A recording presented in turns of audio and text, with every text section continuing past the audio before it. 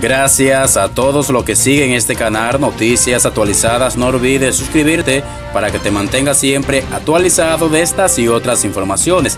La candidata a la vicepresidencia por el Partido de la Liberación Dominicana, PLD, reiteró que el país necesita de un equipo experimentado para enfrentar la crisis económica que se avecina como consecuencia de la pandemia del COVID-19.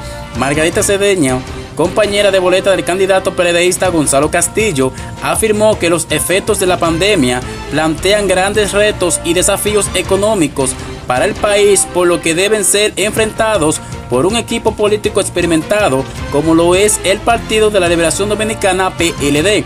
Según un comunicado de prensa, la vicepresidenta y candidata a la misma posición dijo que la población está segura de que solo el PLD tiene la capacidad para dirigir los destinos de la nación, brindar seguridad y estabilidad en medio de la crisis que se avecinan. Vamos a seguir protegiendo a la población trabajando por una economía más estable justamente ahora en este tiempo de crisis por la pandemia donde se necesita de un equipo experimentado dijo la vicepresidenta. Gracias amigos, nos vamos a ver en un próximo video.